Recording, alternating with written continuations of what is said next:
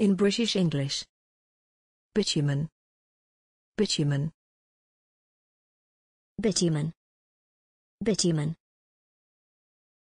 Bitumen. Bitumen. Examples in phrases and sentences. A kilometre and a half of bitumen.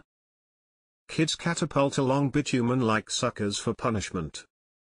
It is a seriously windy and interesting piece of bitumen. A dusty street would have been ideal, but bitumen was acceptable. It belongs to the same family of substances as asphalt or bitumen. Thanks for watching this video. Please don't forget to subscribe. You can find similar videos for each and every English word in the dictionary on our website.